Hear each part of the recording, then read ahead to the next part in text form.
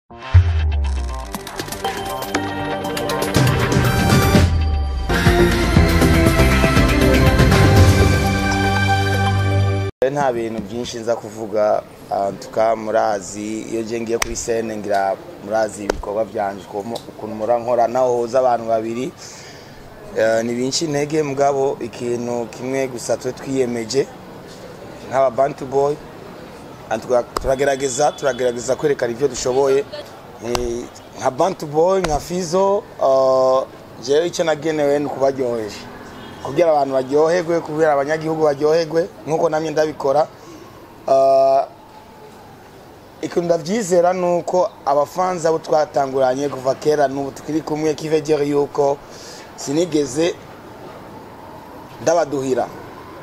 so nka bantu boyi ngaha turi twebwe kuri iki gitaramo ni ah, ubushiriramo twamye dukora petete ko hari ibintu bishyashya tuzobaha ibintu benshi batazi hariyo n'indirimbo nyinshi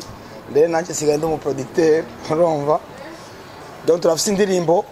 uyu yarafise indirimbo daboje yarafise indirimbo kiriko yaracatenya gato ko ishure ngabo ni indirimbo shasha ni indirimbo shasha tuzosohera icyarimwe azoba ari nk'agakemanyi k'abantu bazoza kuri uwo munsi ama kinini ngira murazi iyo tugiye kuri sene murazi ukuntu tubikora Petete gusa ni gusaba imana uwo munsi umuntu azogware azovukana afite amagara meza n'ayahandi byinshi uh, eh, muzobibonera hajya kuri sene yego hano mwakoze kuza cyane cyane rwose uh, bahora bavuga kenshi ngo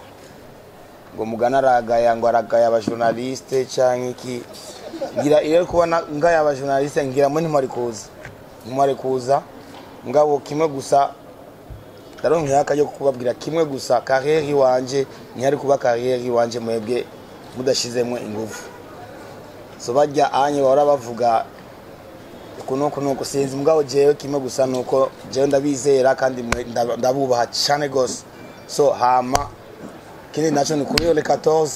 muzoze murabe ivyo tuzokora mpa ni mubambiye